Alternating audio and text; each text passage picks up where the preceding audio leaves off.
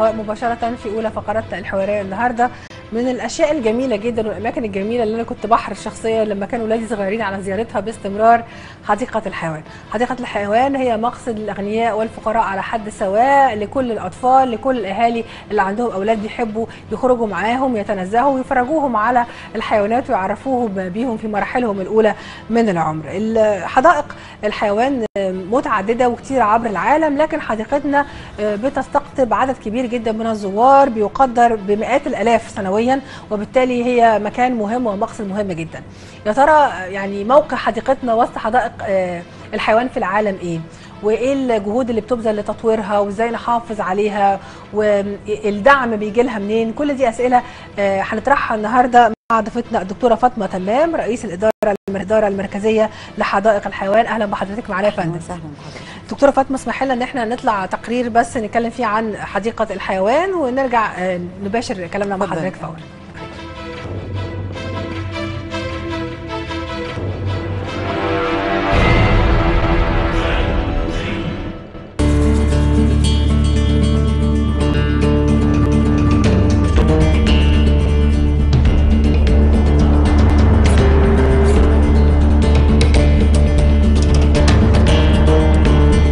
تعد حديقة الحيوان بمحافظة الجيزة من أكبر الحدائق العامة بمصر ويحرص على زيارتها العديد من المواطنين للتنزه ولقضاء يوما جميلا بعيدا عن الأحداث السياسية المحزنة التي تمر بها البلاد.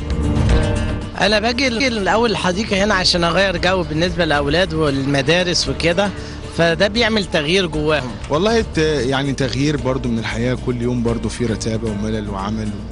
يعني تغيير يوم كده برضو للنزهة للتمتع. طبعا بنيجي أنا والأسرة طبعا للتنزه هنا داخل الحديقة. طبعا من طبعا بنخفف عنا عناء الشغل طبعا طول الأسبوع. النزهة طبعا للأسرة وليا طبعا. ورغم أهمية حديقة الحيوان وحرص المواطنين على زيارتها ولكنها تعاني من قلة الاهتمام وافتقارها للأنواع المختلفة من الحيوانات. في اقفاص فاضية و...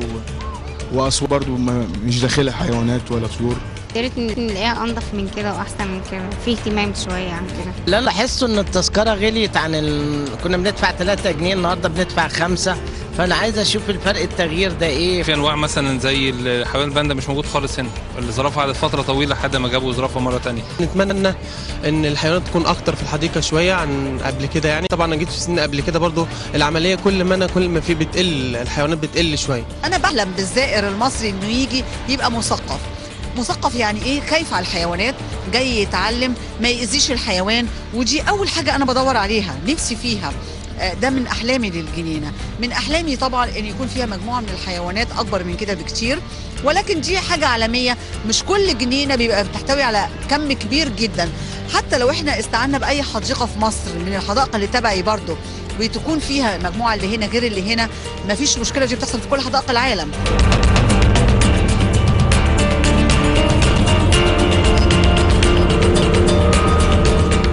حديقة الحيوان حديقة عامة يتنزه بها العديد من المواطنين ولكنهم يشكوا من قلة الاهتمام القائمة بها مما يجعلهم يعرضوا عن زيارتها في المرة القادمة. محمد كمال الحصاد قناة مصر الزراعية. رجعنا لحضراتكم مرة تانية والدكتورة فاطمة علقت على آخر يعني جملة في في التقرير. قلت ليه كده؟ لما قال محمد كمال زميلنا إنهم بيمتنعوا عن زيارتها مرة ثانية ولو إن شك لأن أنا بزورها كل مرة برغم إن في سلبيات أكيد وفي إيجابيات. أكيد لكن طبعا. إحنا بنعاود دايما زيارتها. عايزين نعرف بداية كده يعني موقعنا وسط حدائق الحيوانات في العالم. هل لنا موقع؟ هل لنا تصنيف؟ ولا إحنا بعيد قوي عن التصنيف؟ أنا هقول بس في البداية إن كلمة تصنيف هي مش موجودة. آه كل الناس كان بيتهيأ لها زمان كانوا بيقولوا إن الحديقة تاني حديقة في العالم آه إنها تاني آه جنينة يعني. هي طبعا مش تاني تاني من ناحية الإنشاء على النظام الإنجليزي اللي اتبنت عليه 1891 فطبعا كانت تاني حديقة بتنشأ على النظام الفيكتوري الإنجليزي. آه بالنسبة للتصنيف إحنا ملناش. هو بيحصل إيه؟ إن مثلا زي موقع سبق موقع سياحي في في المملكة العربية السعودية عامل التصنيف بالنسبة لإيه؟ للمساحة لاعداد الحيوانات للموقع للأق... للأقدمية. فالحقيقة كان من قريب خالص من كام شهر لقينا إن حديقة حيوان الجيزة الأولى عربيا والتاسعة عشرة عالميا. رقم 19 في الأعداد الكبيرة جدا في الحيوانات حدائق الحيوانات الموجودة في العالم. لينا برضو ما زلنا لينا وقع ولينا مكان. حديقه حيوان الجيزة ليها يعني ليها مسمى على مستوى كل الكتب اللي بنقراها وعلى كل التاريخ وكل الإنسايكلوبيديا. بيقولوا عليها إيه؟ الحديقة الأم في منطقة الشرق الأوسط لأنها أقدم حديقة بني في منطقة الشرق الأوسط كلها. وده طبعا فخر لينا كلنا يعني. كمان آه أنا عايزة أقول لك إنها ال- الحديقة الوحيدة اللي موجودة في شمال أفريقيا التي التي ضمت مؤخرا للاتحاد الأفريقي لحدائق الحيوان. يعني 2008 الاتحاد الأفريقي لحدائق الحيوان. وأنا بعتبر إن ده طبعا شيء فخر كبير قوي لأن الحياة البريه برية وشغل حدائق الحيوان هو أفريقيا. يعني يعني كما هو معروف السفاري والغابات و... فالحقيقة إحنا لينا لا لينا مكان ولينا وضع ربما تكون آه، زي ما كان كل مكان في مصر حصل ساعات الكيرف نزل شوية وده كل مكان في بلدنا حصل له كده. لكن أعتقد إن إحنا من 2007 آه، 2008 بوضع خطط الحمد لله بدأ يبقى لنا وضع وعلاقات دولية تاني من جديد. لكن هنا بيقولوا إن مصر خرجت من الاتحاد الدولي لحدائق الحيوان في عام 2004 إذا كنا إحنا انضمينا للاتحاد الأفريقي عام 2008 وإذا كان ال curve نزل وطلع زي ما حضرتك بتقولي. قولي إيه السبب عدم وجودنا في الاتحاد الدولي لحدائق الحيوان الاتحاد الدولي هو بيقولوا عليه association رابطة. آه، زي مثلا اتحاد الكورة. آه، اتحاد طبعا وجوده فخر بيساعدنا في حاجات كتير قوي. إحنا كنا مشتركين فيه من زمان.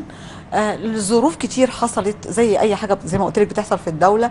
آه، أسباب ما دفعناش فلوس اشتراك جم قيموا لقوا في بعض حاجات كان المفروض نعملها ما عملناهاش. فالحقيقة اعتبروا إن إحنا ما ينفعش نبقى معاهم في الايه في, في الرابطة دي. لما جينا نفكر إيه هم اعترضوا علينا في إيه لانها النقاط بسيطة جدا. حاولنا نعود الرجوع ليهم تاني قالوا لنا لازم ترجعوا للاتحاد الأول اقليمي يتبع القاره اللي أنتوا فيها. وفعلا جم قيمونا الاتحاد الأفريقي وشافوا عندنا الجنينة قالوا آه إحنا مش جنينة 100% كاملة لكن أنتوا تعتبروا في حدائق الحيوان الحقيقة في نسبة عالية جدا من المتوفر فيها طرق الإعاشة للحيوانات في الزائر ممكن لو دخل هي حديقة بالمفهوم المعروف. فالحقيقة وافقوا على طول على دخولنا على إن هم بيتابعونا كل سنة. ولما بيلاقوا في عندنا قصور في حاجة في نقطة معينة بنبتدي نشتغل مع بعض. زي مثلا معدلات الأغذية اتغيرنا إزاي الرعاية إزاي إعاشة الحيوانات آه، إزاي القفص بتاع الحيوان آه، يبقى الحيوان يعيش فيه مرتاح إزاي الميه تبقى متوفرة على طول حطوا لنا بنود كتير جدا والحقيقة في حاجات الزائر مش شايفها يعني مش شايف مثلا إن أنا. عملت حجرة لإعداد الطعام بأعلى مستوى بال freezers بالثلاجه بالمش عارفة بالخلاطات اللي بتوضب لي المعصور والمتقطع والمحطوط بشكل ice أو تلج وإزاي يتقدم للحيوان على فترات. مثلا البرنامج الغذائي ده محدش شايفه خالص لكن بيشوف مردوده إيه؟ إن الحيوان صحته كويسة إن الحيوان بيتكاثر إن الحيوان موجود وأقدر أكمل بيه لحديقة إفريقية آه سوري حديقة عندي يعني في, في محافظة أو إن أنا أبادل بيه مع حديقة في العالم. يعني كل ده بقى ده بقى موجود ففي بدأنا بالبنية التحتية. بدأنا بحاجات كتير قوي زائر مش شايفها. آه لكن آه يعني مثلا بنشتغل نشتغل دلوقتي في إنشاء مستشفى بيطري. بنجيب لها الأجهزة التشخيص السونار الزائر مش شايف كل ده. لكن إن شاء الله مع الوقت حي المردود هيبان.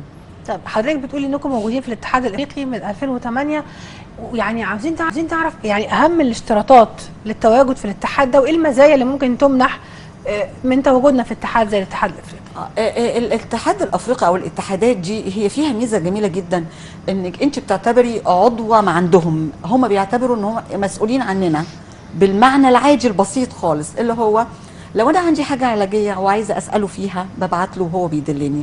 لو أنا عندي ناس عايزة تتدرب هو بيجيب لي خبراء وده حصل في 2010 جاب لي ستة خبراء جم اتدربوا عن دربوا الناس اللي عندي سواء كنا أطباء أو عمال. اتدربوا على حاجات كتير جدا من الناحية العلاجية والتشخيصية وال- والسلوك مع الحيوان. وعلى فكرة هم شكروا جدا على فكرة في عمال حديقة حيوان الجنة. ناس كتير جدا بتعترض وبيقول لك طول النهار واقف وبينده للحيوان وبيتكلم معاه. هم اعتبروا إن ده آه بيخرج يعني الحيوان. علاقة حلوة. آه بيخرج الحيوان ما يبقاش مكتئب. انه طول النهار الحيوان ساكت لا ده في العامل بتاعه. وفي حاجة عندنا في المفهوم العلم بتقول ال animal human relationship اللي هي إيه؟ علاقة الإنسان بالحيوان. آه، متمثلة في بيوتنا في القطط والكلاب لكن في الحياة البرية متمثلة في حيوان بري. إنه إزاي ال- الحيوان بيفرح لما يلاقي العامل بتاعه جاي؟ إزاي بيقدم له الأكل؟ إزاي لو العامل بيبقى زعلان عشانه؟ لقوها دي ناجحة جدا في حديقة حيوان الجيزة واعتبروا إن الفرجة اللي بيقولوا عليها لأ دي بتعمل علاقة بتخلي الحيوان بره الاكتئاب.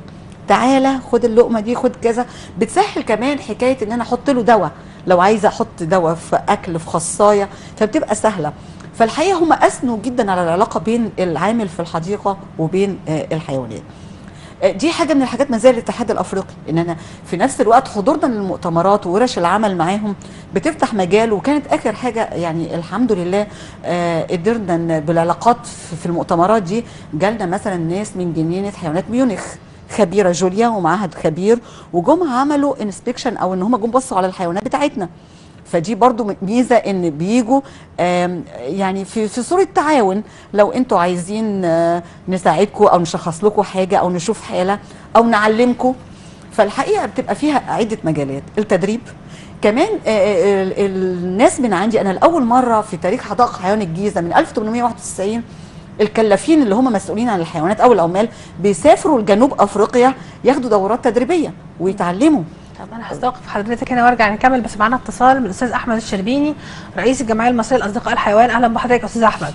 أهلا بحضرتك طبعا الجمعية المصرية لاصدقاء الحيوان مهتمة بالتعامل مع الحيوان وغيره من الأنشطة. تقييمك ل- لتعامل حديقة الحيوان مع الحيوانات اللي موجودة فيها و- وطريقة الإعاشة والتغذية والتحصينات وغيره. طبعا إحنا مهتمين جدا وبنتعاون واللي بنقدر نعمله آه، للجنينة وللحيوانات بن- بنعمله. إنما في طبعا تعاون وفي آه، شغل مع بعض في السنين اللي فاتت واثناء وجود الدكتوره فاطمة وقبليها ده كلام سليم إحنا بنتعامل معاها من مدة كبيرة من زمان الجنينة. طيب أوجه التعاون دي يا فندم. فاهم؟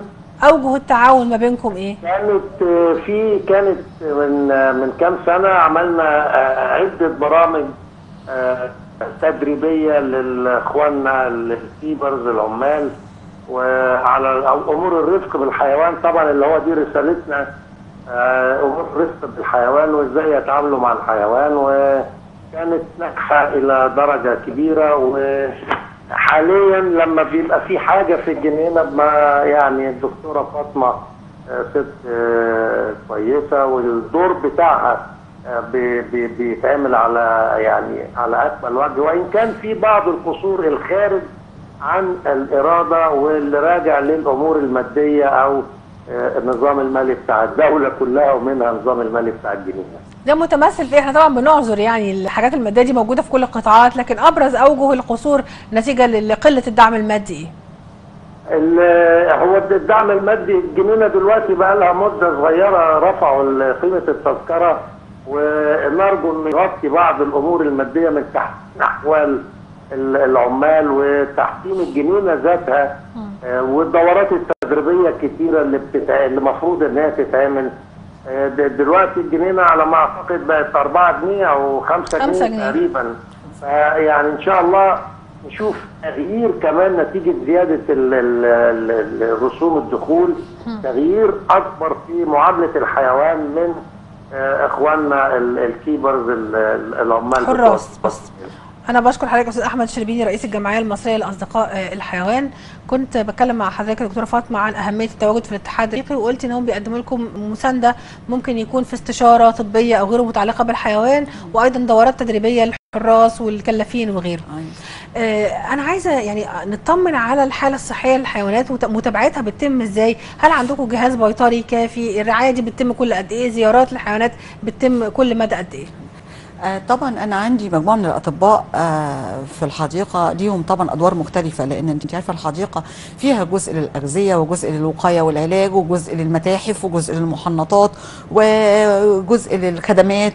الحقيقة في عندي مجموعة كبيرة جدا من الأطباء جزء لتكاثر الحيوانات والطيور. فكل مجموعة من الأطباء مسؤولة عن مكان أو عن شغل معين في الحديقة. أنا بحط برنامج وقائي ليا للحديقة متمثل في إن أنا بدي أدوية وعلاجات آه، وقائية كل ست شهور مثلا زي انفلونزا الطيور دي أنا بدي تحصينات ليها كل ست شهور بدي تحصينات لبعض الفصائل من الحيوانات آه، كل زي مثلا ال Clostridium أو يعني أنواع مختلفة من طبعا أنا مش مجاله إن أنا أتكلم فيها لكن أنا عندي برنامج وقائي بحطه.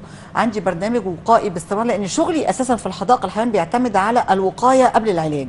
لأن طبعا أنا الحيوان البري معروف إنه مناعته بتعلى قوي وبيفضل يقاوم الأمراض لآخر دقيقة. فكل ما يبقى حيوان صحي أنا بحاول أحافظ عليه بإن أنا بديله برنامج وقائي من ال vitamins والأملاح المعدنية وبراعيه في الشتاء المفروض أعمل له إيه أديله برامج تغذية وقايه شكلها إيه وفي الصيف بيبقى شكله إيه أمراض الصيف غير أمراض الشتاء. فكل دي طبعا أنا براعيها. حتى المبايت بيجي عليا الشتاء ببتدي أقفل المبايت عليهم هم نايمين بالليل بفرش لهم قش رز آه، بحط الأغذية اللي ترفع المناعه زي البرتقال واليوستفندي والفاكهة. بتتغير من الصيف مثلا للبطيخ والشمام وفاكهه الصيف غير فاكهة الشتاء. آه، برامج وقائية ورفع مناعة في الصيف غير الشتاء. آه، فطبعا آه، الموضوع عندي كبير جدا وعلى فكرة بيراجع من الاتحاد الأفريقي. وإحنا كمان بنراجعه من أساتذتنا في الجامعة وفي الكليات ومن خبرتنا إحنا السابقة ومراجعتنا للكتب. ففي برنامج كبير جدا للحيوانات والطيور. كمان التكاثر. أنا ببقى مثلا عايزة أعرف الحيوان ده خلف السنة دي الحيوان ده ما خلفش السنة اللي بعدها. ليه؟ عندي مثلا قصور في إنتاج البيض من طائر معين. الطائر ده ما بيتكاثرش زي البجع. البجع قعد سنين طويلة في حدائق الحيوان لا يتكاثر. بقاله دلوقتي ثلاث سنين بيدينا كميات كبيرة من طائر البجع الجميل عندنا في الجنينة. والاميو والنعام كل ده إشراف كبير جدا من الأطباء. بيكون في بقى يعني محاولة معرفه الأسباب والبحث وراها ومعالجتها. طبعا. طيب بس برضه الناس أحيانا بتروح تقول إن الحيوانات سنها كبير وإنها عجوزة ومكتئبه وإنها يعني مش مش حيوانات كده يعني فيها روح وحياة أحيانا. ده بيرجع لإيه؟ هل بيبقى عندنا افتقار لبعض أنواع الحيوانات عبال ما بنجيب سلالات جديدة؟ ده بيحصل يعني جاب أو فرق بين التوقيت ده وده؟ هو بالنسبة لحيوانات الحديقة الحقيقة أنا عندي في حاجتين حاجة بتعتمد على الحيوان نفسه وحاجة بتعتمد على الزائر عين الزائر. مشكلتنا في مصر إن ما عندناش ثقافة الحيوان ده إيه النموذج ال- ال- الأمثل ليه؟ هو شكله إيه في الطبيعة أو في أو في حياته؟ عشان أقدر أقول إن هو صحي أو مش صحي. يعني مثلا بيجي لي زائر ويلاقي الأسد نايم الظهر.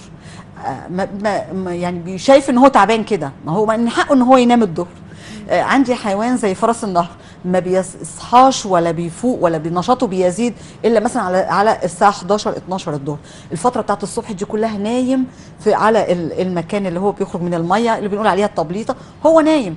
بيجي الزائر يلاقيه نايم يقول لك تعبان صحته صحته تعبانة. هو مش باين. مش بقى يعني مش يعني صحته مش موجود. فطبعا دي بترجع للزائر. طب أنا أنا أعمل إيه إذا كان الزائر مش مثقف لطبيعة الحيوان أساسا؟ نيجي بقى للحيوانات هي كبيرة ولا مش كبيرة؟ موجودة كل أنواعها ولا مش موجودة؟ زمان لغاية 40 أو 50 سنة كانت الحياة البرية والحيوانات البرية. لو مركب معدية في قناة السويس وفيها شوية حيوانات برية جاية من أفريقيا كنت ممكن أخدهم وأعرضهم في حديقة الحيوان. لو أنا عايزة أشتري من أي مكان في العالم كان الموضوع فيه سهولة ويسر. لغاية لما في السبعينات اتفق العالم كله تبع الأمم المتحدة وشكلوا آه، آه، يعني لجنة كبيرة سموها اتفاقية أو وقعوا على اتفاقية اسمها اتفاقية التجارة العالمية لحماية الحيوانات البرية المهددة بالانقراض.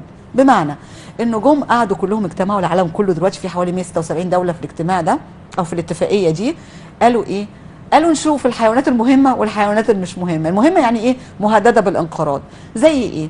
زي التمساح النيلي اللي عندي في مصر زي السلحفة المصرية زي الشمبانزي زي ال- الفيل. فمش بقتش بسهولة إن أنا أقدر أحصل على هذه الحيوانات. ارتفاع قيمتها المالية كبيرة جدا. كانت الأول برخص التراب زي ما بيقولوا دلوقتي بقت بالملايين. وطبعا بتخش فيها بقى الميزانية. فطبعا ال... اتفضلي. أستاذ حضرتك بس ناخد اتصال عشان منتظر. بقاله شوية. الأستاذة منى خليل رئيسة جمعية الرحمة بالحيوان. أهلا بحضرتك يا أستاذة منى. أهلا وسهلا بحضرتك يا فندم واهلا بالدكتورة فاطمة. أهلا وسهلا. بيكي. طبعا في مجتمع فقير زي مجتمعنا للأسف بعض الأصوات بتتعالى وبتقول ما نرحم الأول الإنسان رحمة بالحيوان ورحمه بالحيوان إيه؟ إحنا نهتم بالإنسان اللي هو حالته صعبة. لكن ال- الإنسانية بتتطلب إن إحنا يعني نعتني بالاثنين لا مانع ابدا إن إحنا نعتني جنب إلى جنب بالإنسان والحيوان. حتى الإنسان الفقير بنلاقيه بيعتني بالحيوان بتاعه وبيبقى رحيم بيه. وبالتالي يعني أوضاع ال- الرحمه بالحيوان في مصر شكلها إيه إذا مقارنه بدول العالم؟ والله يا فندم هي مسألة الرحمة آه، ما نقدرش نتكلم فيها في غنى وفقر لأن لما ربنا قال على نفسه إن هو الرحمن الرحيم وأن رحمتي وسعت كل شيء آه، إحنا عارفين إن ربنا ما بيختارش الألفاظ في القرآن اعتباطا. فلما اختار الشيء وشيء المسألة حب يفهمنا إنه لا يقصد الإنسان فقط. فربنا وصف نفسه بالرحمة وربنا حسنا على الرحمة فما أقدرش أقول إن الرحمة مرتبطة بغنى وفقر واللي هيقصرها على غنى وفقر يبقى فقد معنى الرحمة أساسا وهو نفسه بقى ما يطلبش رحمة من حد. ده أولا. بالنسبة لأوضاع الرحمة والرفق بالحيوان في مصر هي على أسوأ ما يمكن أن يكون من مستوى مقارنة بالدول الأكثر فقرا مننا والأقل تحضرا مننا واللي ما عندهاش أي إمكانيات خالص. أوضاع الرفق بالحيوان والعناية بالحيوانات فيها أفضل من مصر أضاءت 7000 سنة بكتير قوي ده بيرجع فندم؟ ده الحقيقة بيرجع للثقافة العامة في المجتمع بيرجع لقلة الوعي الديني بيرجع لقلة الوعي الثقافي بيرجع ان القائمين للأسف على العناية بالحيوان في مصر ما بيولوش مسألة الارشاد والتوعية العامة القدر الكافي ليها. يعني أنا سمعت الجزء الأخير من محادثة الدكتورة فاطمة فاطمه وعارفه إن هناك كثير من الناس اللي قعدت تزن سنين وسنين هي إزاي جنينه حيوانات الجيزة ما فيهاش زرافة. إيه المشكلة لو ما بقاش عندنا زرافة؟ إيه اللي هينقصنا جدا يعني إن إحنا يكون عندنا زرافة؟ طب ما ابص الأول لاوضاع جريمه الحيوانات وهي محتاجة إيه ماديا بدل ما أحط الفلوس دي عشان أبعت أجيب زرافة وأنا أساسا عندي مشكلة في الاعتناء بالحيوانات في مصر وحديقه الحيوان محتاجة تطوير كتير تطوير اولا للعماله اللي موجوده فيها وامكانياتها وإمكانيات اعاشه الحيوانات ونوعية التغذية اللي موجودة وتدريب الأطباء والكوادر. هو ده مش اولى عشان أعتني بال- بالحيوانات اللي موجودة. بالفعل عندي جوه قبل ما أبتدي أحاسبهم وأقول لهم هو أنتوا ما جبتوش الزرافه ليه؟ وبالتالي أنا اركز في اللي عندي. إحنا بنضطر إن إحنا بس نقول أصل إحنا الضغط الناس والضغط ضغط الناس في إيه يعني أنا عايزه أعرف إيه هو نوع الضغط ما عنديش زرافه أنا لسه راجعة من أمريكا. أمريكا حديقة حيوان واشنطن ما فيهاش زرافه إيه الأخبار بقى؟ ما عندهمش. هل ومع ذلك رعاية الحيوان بقى. رعاية الحيوان بقى على على أكمل وجه ممكن. باقي الحيوانات اللي موجودة. أتكلم مع حضرتك على إحساسي بالحسرة والألم. لما شفت حجم آه، آه، آه، العناية الفائقة وعدد الحيوانات القليل اللي موجود وأعداد العمالة والأطباء المخصصة للإعتناء بنوع نوع. والمراقبة كل 60 دقيقة لكل تفاصيل الحيوانات وكتابه تقارير والمساحات الفظيعة الشاسعة اللي مخصصة للحيوانات. ما أنا طالما قررت يكون عندي حديقة حيوان. يكون عندي القدرة على إن أنا أديرها بالشكل اللائق والمناسب يا بلاش. طيب أنا ح... أنا بشكر حضرتك يا أستاذة منى شكرا جزيلا لحضرتك. وخلينا نعرض النقاط دي كده على الدكتورة فاطمة. يعني حضرتك مشاركاها الرأي في إنه مشكلة قوي كان يبقى عندنا زرافة في سبيل إن إحنا نهتم بباقي الحيوانات. وفي يعني أعباء كتيرة بتقع على عاتق على عاتقكم مهما كان مساحة الجنينه فعلا كبيرة. لكن برضو عدد الحيوانات أكيد المساحات لها نظام معين. مساحة القفص يعني المساحات بين قفص وآخر بين حيوان وسلالة أخرى من الحيوانات. أيوة. التغذية زي ما ذكرت آه، الأستاذة وغيرها من الأشياء. التحديات اللي بتواجهكم في تطوير الحدائق دي عشان توصلوا للمستوى المطلوب بالرحمة والرأفة بالحيوان. أنا هقول لحضرتك حاجة. اولا الحيوان عشان أخش في حتة الرحمة أنا يعني الحيوان بالنسبة لنا أنا ده مش حيوان بربيه عشان أذبحه. ولا حيوان بربيه علشان أكله أو إنه في مزرعة. ده حيوان بربيه عشان يعيش. وعشان أنا كمان الناس كتير جدا في الجنينة حوالي 600 فرد بيعتمدوا دخلهم وحياتهم على هذه الحيوانات. فالرعاية هي موجودة. ربما يكون زي ما بقول لحضرتك إن إحنا محتاجين مثلا أجهزة تشخيصية محتاجين آه، مستشفى بيطري. هي طبعا كلامها مظبوط الأستاذة منى إن إحنا محتاجين الحاجات دي كلها والحاجات دي عايزة فلوس. دي حقيقة. حكاية إن مش لازم يبقى في زراف هي طبعا بتتكلمها مظبوط 100% مش كل حدائق الحيوان فيها كل أنواع الحيوانات.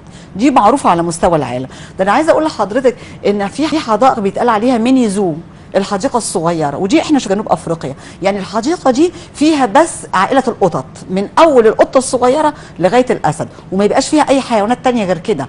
أو فيها المفترسات أو حديقة فيها مجموعة من الطيور. فالحقيقة مش شرط إن اللي لازم يكون موجود مثلا في اسكندرية لازم يكون في القاهرة أو العكس. لا في معروفة دي فعلا على مستوى العالم إن مش لازم يبقى كل ما كل الحيوانات موجودة في حديقة واحدة. طب هل في فكري فكرة إن إحنا نعمل حاجة زي كده في حديقة الحيوان؟ يعني هل ممكن نفضي بعض الحيوانات منها وننقلها لحدائق أخرى؟ ولا ده هيسبب تكلفة مادية أعلى؟ إحنا بننقل والله بس أنا عايزة أقول لحضرتك ال- الزائر يعني كل الناس أو. المفهوم عايزين عايزين زرافة زي ما قالت الأستاذة منى. يعني عايزين زرافة. طب إحنا عايزين زرافة. هو في في حيوانات بتبقى معروفة بنقول عليها اللي هي الزو ستار أو نجوم الحديقة اللي هو. داخل عايز إيه؟ الفيل عايز الأسد. والقرد. آه وال- والفيل وال- والزرافة وكده. فبيبقى مطلب جماهيري زي ما هي بتقول. طب ما هو إحنا يعني برضو بقى هي لفتت نظرنا لحاجة جميلة جدا. بتقول ان الإعاشة والوسع والمكان هو فعلا عارفة حضرتك زمان بنقولها وبندي مثل دايما ليها إن زمان الناس كانت ممكن تبقى عايشة في أوضتين وتبقى مبسوطة لكن دلوقتي آه، بقت في معايير أخرى للإعاشة. برضو الحيوانات بنفس الطريقة بتتحط معايير دولية انه ممكن الحيوان ده يعيش في نص متر لكن ممكن يعيش في 50 متر و70 متر وأكتر من كده ده على سبيل المثال. فطبعا كل ما المكان بيبقى فيه شيء من الراحة والسعة ومتوفرة له المية والأكل والشيلتر أو المكان اللي بيغطيه من بيحتمي الشمس بيه. ومن الهواء بيهتمي بيه وليه مكان يبات فيه وليه أسرة وليه هي دي الخمس مقومات لعيش لإعاشة الحيوان. طيب أستاذ حضرتك ناخد تليفون آخر. الأستاذة دينا ذو الفقار الناشطه الحقوقيه آه، في مجال حقوق الحيوان البرية. أهلا بحضرتك يا أستاذة دينا. أهلا وسهلا بيكم وأنا مبسوطة إن معانا دكتورة فاطمة تمام. وأنا عايزة أقول إن عمر ما هيكون في آه، آه، آه، يعني تلاقي جامد لكن أنا من الناس اللي لازم أقول الحقيقة. اتفضل. الناس بتوع حقوق الحيوان إحنا مش عايزين حيوانات في الاسر خالص. كويس؟ حدائق الحيوان ليها دور في صون النوع والتوعية بالحياة البرية. فدايما بيكون في خلاف لكن مع الخلاف دي ده في نقط تلاقي بتكون هايلة. وأنا بتكلم الحقيقة دكتورة فاطمة تمام آه، قادرة إن هي آه، آه، يعني تستوعب آه، ال ال يعني شوية عندنا عنف شوية بتوع حقوق الحيوان لأن إحنا عايزين حاجات كتيرة جدا. لكن كمان لازم نعرف إن إحنا كلنا في دولة يعني أنا قعدت كتير مع دكتورة فاطمة. إحنا في دولة لينا إمكانيات وعلى قد الإمكانيات بنتحرك. ودكتورة فاطمة بتسمعنا قد كده واللي بتقدر تعمله حقيقي بيتعمل. وفي خطط كتيرة للتطوير وبعدين في عندنا مشكلة كبيرة جدا. الوعي الإعلام مشترك في المشكلة اللي إحنا فيها.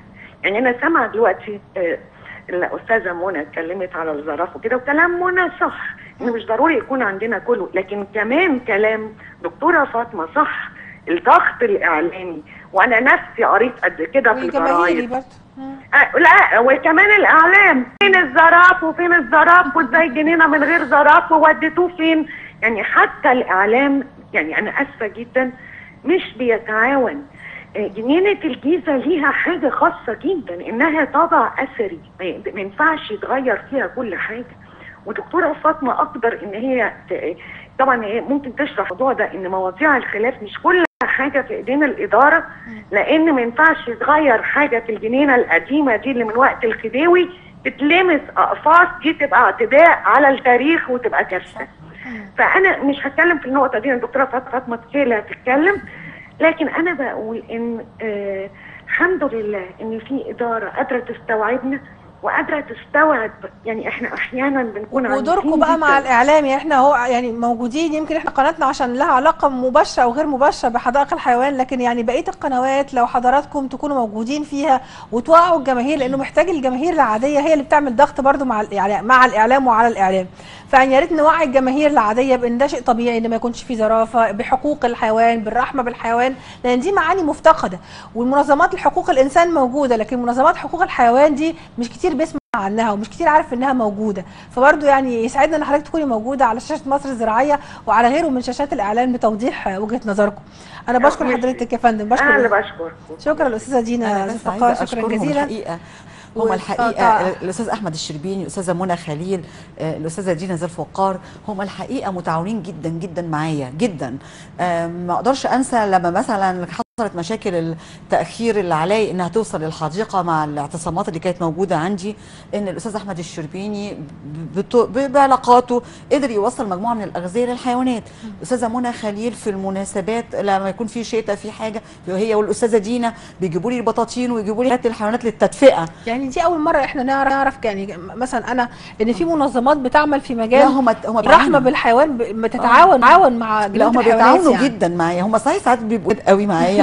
لكن ده حقهم لأن هم بي... وجهة نظرهم غيرنا. هم عايزين كمال يعني. هم عايزين آه. الكمال وعايزين الرفق بالحيوان. آه. وإحنا طبعا آه، في بعض الناس بيعتبرون التدخل منهم في شغلنا. لكن الحقيقة لما بتتلاقى الأفكار وهم ليهم دور جميل قوي برضو في حتة الوعي ال- البيئي أو الوعي بالحيوان أو الرفق بالحيوان. وده يمكن اللي أنا يعني بطلبه من من القناة هنا. إن ليه ما نعملش مثلا حلقات عن إزاي نوعي الناس بالحيوانات وإزاي نراعيها وإزاي نتعامل فيها برفق وإزاي ربنا وصانا عليها. وإزاي حاجات كتير قوي في القرآن وإزاي في أحاديث الرسول إن القطة اللي واحدة دخلت فيها النار والكلب اللي لما الواحد سقاه شرب مية. يعني في حاجات كتير جدا في الدين بتحثنا عن البيئة. بتحسنا على البيئة وعلى الحيوانات وازاي ما نقطعش شجرة وازاي نحافظ على طائر وز... يعني حاجات كتيرة جدا لو إحنا عملناها حتى من خلال قناة مصر الزراعية هتبقى حاجة تثقيفية للزوار لل... يعني للعامة أو للناس إحنا عموما معاك ونحاول نعمل حاجة نعمل حاجة. كويسة يعني بس أنا عايزة برضو أتكلم مع حضرتك على ال- التغذية يمكن اتكلمنا على ال- الشؤون البيطرية وقلت حضرتك إن إمكانية توفر مستشفى وأجهزة تشخيص كاملة شيء صعب آه. لكن مو- موجود, موجود أشياء ومت- معينة آه. ممكن تساعد أيوة. برضو الأغذية الأغذية هل هي مكلفة أكتر من الميزانية المتاحة؟ بتعملوا إيه علشان تحسنوا جودة الغذاء آه، علشان يكون طازة دايما ما يكونش بايت أو يكون آه فيه عليه هقول لحضرتك. أنا الأغذية ده عندي موضوع كبير جدا في حديقة حيوان الجيزة. اولا بس عشان الناس اللي بتتكلم عن زيادة التذكرة أنا باخد التذكرة دي باخد منها 75% من قيمة التذكرة باخده بصرفه على الخدمات في الجنينة في الحدائق عموما يعني اللي تبعي اللي هم التسع جناين والأغذية الحيوانات ومرتبات العمال المؤقتين. فطبعا أنا عندي بند كبير جدا والحقيقة عانيت معاناة شديدة جدا في فترة الشهرين اللي كانت الجنينة فيها. ما فيش زوار. يعني أنا دايما أقول على نفسي أنا أنا شباك سينما. جاني الفلوس أنا بقى في إيراد. فالحقيقة عانيت جدا من إن ما فيش إيراد الشهرين أو الشهر ونص اللي حصل فيهم الاعتصام فترة الطويله دي وأنا بعتمد عندي عندي بنود كتير جدا بتعتمد على الخمسة جنيه دي فطبعا قيمة الأغذية زادت جدا قيمتها وكلنا عارفين ده. يعني كنا بنجيب الحاجة بكام وبقت بكام. أنا عندي أغذية جافة بأكلها للحيوانات وعندي أغذية فريش طازة. الأغذية الجافة بتخضع لقانون المناقصات والمزايدات وإن أنا لازم المفروض في خلال العام المالي يجي لي كم من الأغذية أملى بيها المخازن بتاعتي. بت- متمثلة بقى فول وذرة وعلف وحاجات زي كده. وبتخش طبعا لتحاليل ويعني ما أقدرش أقول لك بتبقى بتخضع لرقابة قد إيه بيننا وبين مركز البحوث الزراعية. شغل كبير قوي بالنسبة لنا. نيجي للجزء الثاني هي الغذيه الطازة. زي ما كنت بشرح لحضرتك إن في صيف. حاجة شتاء حاجة. اللحوم اللي بذبحها أنا عندي مثلا لحم خيل بأكل أربع أيام في الأسبوع ولحم بلدي بيجيني من المجزر ويبقى في طبيب بيشرف وبيجيني طبيب من مديرية الطب البيطري بالجيزه بيشرف معايا. فالهيئة بتخضع لرقابة كبيرة جدا. القيمه المالية لقد إيه دي؟ 6 مليون ونص. 6 مليون ونص جنيه بحطهم في الأغذية بس لحديقة حيوان الجيزة والحدائق الإقليمية اللي معاها. كل ده بيعتمد على إيه؟ على الدخل. فالدخل وبعدين طبعا الحاجة بتتزايد. اللحمة اللي بز... كنت بجيبها مثلا وات مثلا أو ثمنها 30 40 جنيه دلوقتي بقى ثمنها كام؟ وأنا بعتمد على يومين في الأسبوع لحمة طازة من المجازر. وقيسي بقى على كل كده في كل المكونات. فأنا القيمة المالية عندي اللي بدفعها للأغذية بس بعد ما كانت 4 مليون ولا 5 مليون بقت 6 ونص المليون ده حاجة كتير قوي. طبعاً. فطبعا محتاجة لازم عشان ما أحملش الدولة أنت زائر جاي تتفسح إيه المشكلة انك انت تساهم معايا في ان الجنينة طب وهي الإيرادات الإيرادات الشهرية تقريبا كام يعني في المتوسط يا فندم؟ أنا أقول لحضرتك أنا بيجيني في المتوسط حوالي 2.8 من عشرة مليون زائر في حديقة حيوان الجيزة. يعني نقول 3 مليون 3 مليون زائر. إحنا دايما نقول في المتوسط 9000 زائر في اليوم. طبعا ما بيحصلش في أيام بتبقى أقل بكتير وفي أيام في الأعياد بتوصل ل 100000 زي شم النسيم و... لكن أنا ما بقول 3 مليون بقسمهم على 360 حوالي 9000 زائر في اليوم. 9000 يعني حضرتك إن تستقبلي 9000 زائر ده رقم مش قليل. زيدي عليهم بقى طبعا آه الأطفال ما بين لكن ده. بيدخل دخل كويس يقدر يقدر يغطي المأكولات وال والخدمات البيطرية. وغيره بنتكلم في ملايين في 5 جنيه دلوقتي. يعني بنوصل مثلا ل 10 مليون في الشهر. ما إحنا أنا ميزانيتي 12 مليون. الميزانية بتاعتي 12 مليون جنيه. منهم 6 ونص بس أغذية. حضرتك بقى أنا محتاجة صيانة محتاجة مرتبات عمال مؤقتين آه، محتاجة ورش محتاجة شجرة وقعت آه، عايزة سلك أصلحه آه، عايزة دهانات عايزة مقاعد بتتصلح عايزة مسامير عايزه آه عايزة. غطاء نباتي عايزة بذرة ب... ب... عايزه وعايزة أدوية وعايزة علاجات وعايزة تحصين. كل ده من الفلوس اللي بتجيلي من دخل الجنينة. فأنا مضطرية طبعا اولا هو التارجت بتاع إن أنا أزود التذكرة هو ليه كذا كذا محور. اولا هو طبعا آه، ال- الحاجة الأساسية فيها إن أنا أقلل أعداد الزوار. يعني الزائر لما يجي لي مرة في الشهر أفضل عندي ما يجي لي مرتين.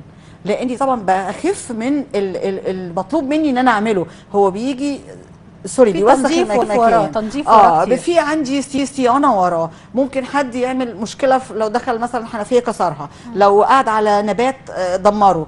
فأنا محتاجة بعد لما يجيني خمسة أفضل ما يجيني عشرة. فمش معنى كده إن أنا بقول الزوار ما يجوش لا أهلا وسهلا طبعا يعني هو أنا- يجوا كمان ويحترموا المكان علشان هو يجوا ليهم في النهاية. المكان. فدي طبعا أنا عندي ال target آه إن أنا أزود الدخل وأقلل الأعداد. ليه؟ كل حدائق العالم كده. هو دورها تثقيفي وترفيهي. آه، مش جاي عشان أفترش الطرقات واقعد حاجة كمان أنا ليه عايزة أقلل الزوار آه، يعني يعني بنسبة معينة ليه؟ الحديقة أنشئت 1891 كان عدد زوار عدد يعني عدد قاطني القاهرة والجيزة قد إيه؟ أعتقد إنه ما كانوش وصلوا لمليون حتى. دلوقتي أنا عندي 20 مليون في المحافظة. وكلهم عايزين يزوروا الجنينة والطرقات بتاعة الحديقة نفسها الصغيرة لا تحتمل هذه الأعداد الكبيرة جدا. فطبعا كل ما بيقل عندي أعداد الزوار مع زيادة الدخل فأنا كده بحقق عندي ال- المطلوب. بالنسبة لل- للزيت معانا معانا اتصال تاني من الأستاذة أمينة أباظة رئيس الجمعية المصرية لحماية حقوق الحيوان. أهلا بحضرتك يا أستاذة أمينة. أيوه أهلا. مساء الخير. مساء النور يا فندم. أهلا, أهلا بحضرتك. بحضراتكم. يعني أنا سعيدة إني بقى يعني كل شوية بنتلقى اتصال كده من ناس بتشتغل في حماية حقوق الحيوان. لأن عادة الإعلام والناس عامة والجماهير بتعرف حقوق الإنسان. لكن حقوق الحيوان ده برضو مفهوم جميل إن إحنا نضيفه للثقافة المصرية.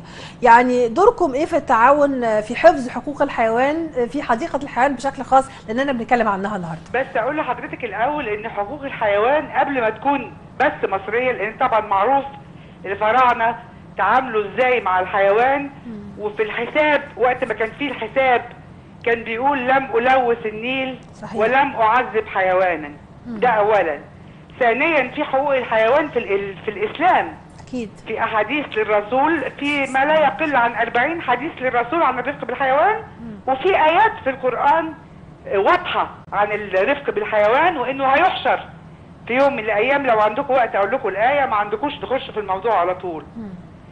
اتفضلي يا فندم. آه، في الآية اللي بتقول بسم الله الرحمن الرحيم وما من دابة في الأرض ولا طائر يطير بجناحيه إلا إلا أمم أمثالكم. أمثالكم. ما فرطنا في الكتاب من شيء ثم إلى ربهم يحشرون. أنا مش عارفة لو المسؤولين عن الحديقة عارفين الموضوع ده ولا لأ.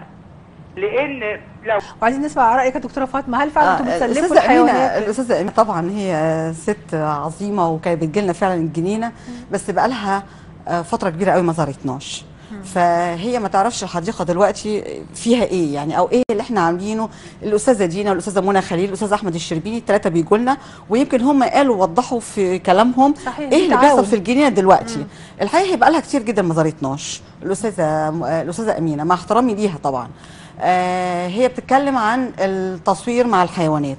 التصوير مع الحيوانات إحنا في عندنا حد بيصور واخد حق تصوير ب 73 ألف جنيه في الشهر أي بما ما يعادل بيدخل للدولة 800 ألف جنيه.